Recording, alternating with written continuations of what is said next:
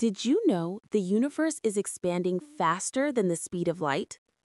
Yeah, faster than light. Meaning, no matter how hard we try, there are parts of the universe we'll never see. They're literally outrunning the speed at which light can reach us.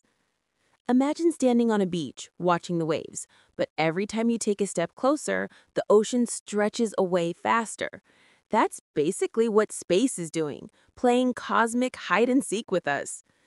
And here's the crazy part it's not that galaxies themselves are moving through space faster than light, it's space itself that's stretching, pulling galaxies apart like dots on an inflating balloon. So, technically, some parts of the universe are moving away from us faster than any message, signal, or spaceship could ever catch up.